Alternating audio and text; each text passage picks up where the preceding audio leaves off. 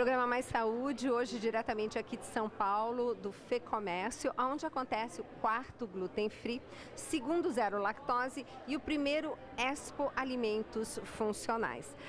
Tivemos aqui a, a, reunião de grandes profissionais e vários conhecidos lá do nosso programa Mais Saúde, da Rádio América, que nós fazemos todas as segundas, terças, quartas, quintas e sextas ao vivo, diretamente da Rádio América, mas também para toda Rádio Canção Nova, por todo esse Brasil, das 12 às 13 horas e que fica disponível para você pelo YouTube.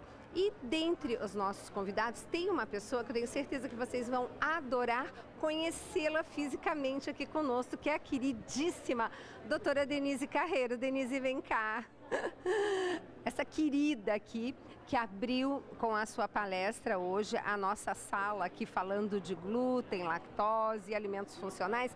Denise, eu gostaria que você conversasse com os nossos ouvintes e dissesse o que foi que você comentou com eles, uh, o que foi que você abordou na sua palestra. Ok, Gisela, um prazer estar aqui né, com vocês. Bom, uh, na verdade me pediram para falar sobre os mecanismos imunológicos e não imunológicos pelos quais o glúten causa problema, né? Porque fica sempre aquela história, desde que o mundo é mundo se come trigo, né? Aí a gente fala, qual trigo? Certo? Então, até para começar a palestra, eu falei, bom, antes da gente falar de qual glúten, é, do, do, dos problemas que o glúten traz, vamos primeiro entender que glúten é esse. Exato. Da onde vem vindo? Não é aquele trigo que começou que tinha aí 500 vezes menos glúten do que tem hoje. Né? Então o glúten, o trigo original, era um trigo que tinha nutriente, muito nutriente. Você pega o farro, qualidade nutricional é enorme tá? De inclusive com luteínas, carotenoides, uma qualidade nutricional enorme, com é, quantidade de glúten assim irrisória.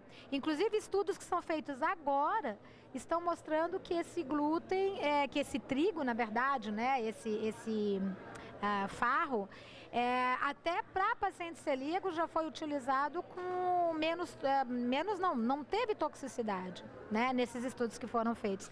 Enfim, existe estudos na Europa e nos Estados Unidos, uh, não só estudos, como já testes mesmo, já fizeram todo um processo e já tem gente produzindo esse trigo que eles falam, vamos voltar para aquele trigo que não causava problema, né? E na verdade a tecnologia, todo o processo para essa produção existe, ah, como a gente fala, hoje o que não existe ainda é a vontade política, né? Para que isso realmente seja feito. E na hora que a gente fala dos problemas que este glúten atual pode causar, né? É um glúten que foi é, feito principalmente sobre aprimoramento genético né? E que o, o, trigo de hoje tem 20 vezes mais glúten do que o trigo de 40, 50 anos atrás. Fora que as pessoas consomem de uma maneira geral a farinha de trigo refinada, que você tira o que poderia ter de nutriente, que é o farelo e o germe de trigo. Então fica só amido e glúten, mas e, e proteína. E dessas proteínas 80, 90% são glúten. Aí a gente fala, ah, e aí, qual é o problema, né? O problema é que esse glúten, ele tem várias frações uh, proteicas dele. Quer dizer, o glúten é uma proteína. Uma proteína é um monte de aminoácido junto, né? E o organismo vai ter que quebrar isso em aminoácido de peptídeo e tripeptídeo para ser absorvido. Só que acontece que essa cadeia de aminoácidos do glúten, ela tem algumas sequências que o organismo não consegue quebrar. E essas sequências que não conseguem ser quebradas, elas funcionam para o nosso organismo como antígenos, como um agressor. E aí você fala, para quem tem doença celíaca? Não né? Para qualquer pessoa. Então, existem determinados grupos de aminoácidos do, do glúten que vão aumentar a expressão de uma proteína que abre buraco na parede intestinal. Outros vão causar ah, infiltrado linfocitário, ou seja, uma inflamação na parede, independente também de ser ou não doença celíaca né? Então, o que a gente sabe hoje é que o que vem causando problema para as pessoas, uh, claro, as que têm doença celíaca, tem uma genética que predispõe a isso, é um processo autoimune, tem que ser diagnosticado pelo médico e tem que tirar o glúten, acabou, não tem o que pensar.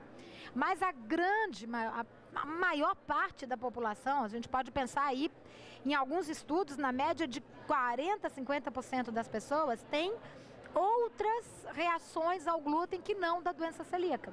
extraintestinais seria, né? E aí com manifestações muitas vezes extraintestinais. E essas manifestações extraintestinais, elas fazem com que as pessoas não liguem né? Como a gente brinca, né, Gisela? Não liga o nome à pessoa, né?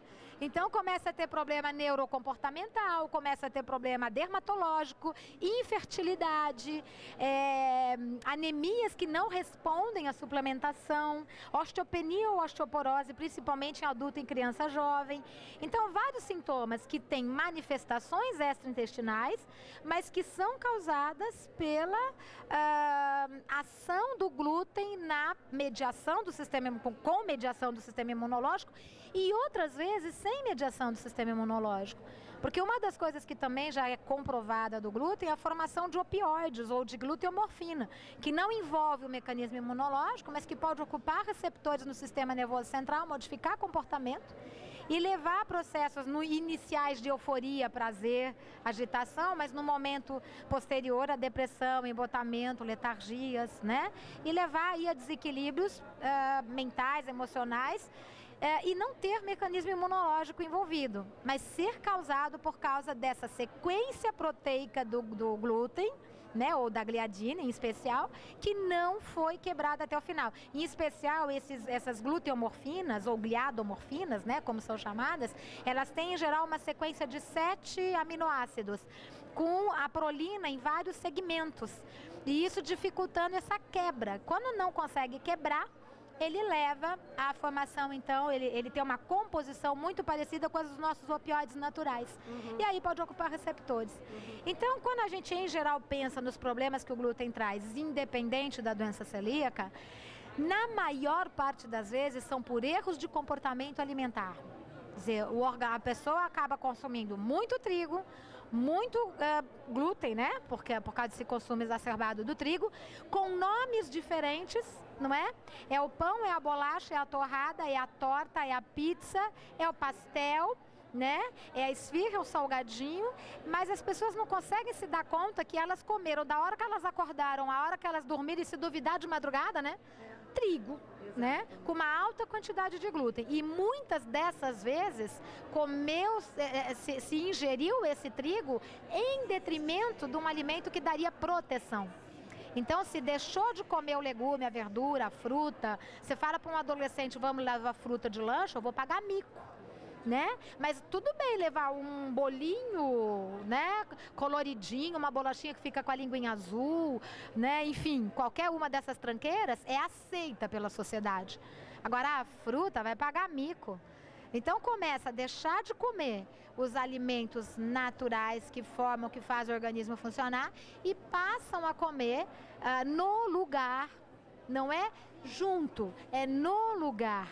É farinha de trigo refinado, né? Sobre diversas caras mas farinha de trigo refinado. Então, mais uma vez, leva a desequilíbrio no organismo e esses desequilíbrios é que vão se traduzir em sintomas que podem ser a doença celíaca para quem tem predisposição genética e pode ser inúmeros outros mecanismos imunológicos e não imunológicos uh, para quem tem outra predisposição genética, né? Então é isso que a gente tentou trazer um pouquinho aqui no congresso, né, para abrir um pouquinho aquele aquele leque, aquela ideia, né, de que realmente o único problema do glúten é a doença celíaca, né? Ele é o mais conhecido, mas ele não é o maior problema. Ele é um dos grandes problemas também. Tá bom?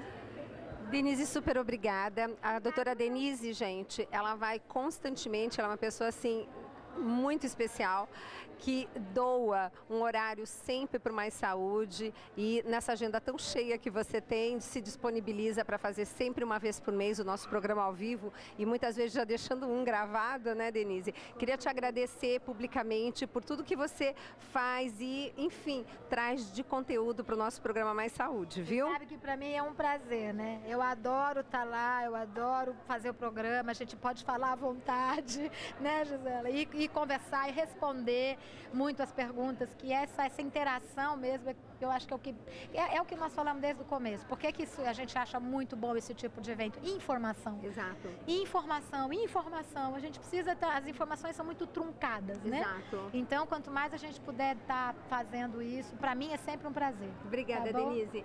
E olha só o que a doutora Denise falou, que ela gosta de ir no programa porque lá nós podemos falar a verdade. E isso é possível por quê? Porque Mais Saúde, assim como toda a programação da TV e da Rádio Canção Nova, não tem patrocinadores. Aliás, o patrocinador é você.